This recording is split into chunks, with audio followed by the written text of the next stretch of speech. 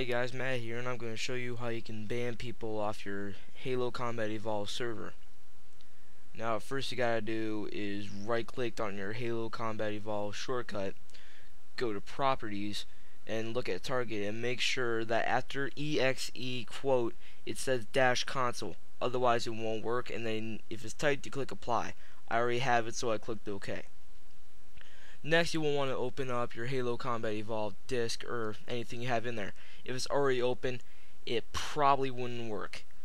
So if it's open, you would click out of that and you would start it up. You don't have to do it again.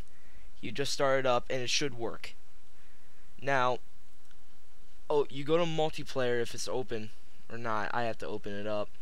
So I go to internet, open up, I click OK, Slayer start game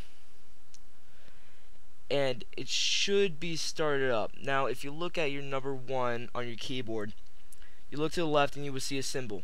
Click on that and on the screen a pink halo should pop up. Now once that pink halo is popped up I'm pretty sure you would want to type in SV underscore players alright? Now once you did that you click enter and a list of the players in the game should pop up. Now, if you look at the number that's to the left of their name, you should probably want to type in SV underscore ban, or I didn't want to do ban, I just typed in kick. You could do it either way. And then you would space and then type in their number. Now, it won't let you kick yourself, so you just go on with the game. And if you want to do that, you would click the symbol that you clicked and uh, you should be on your way in Halo Combat Evolved.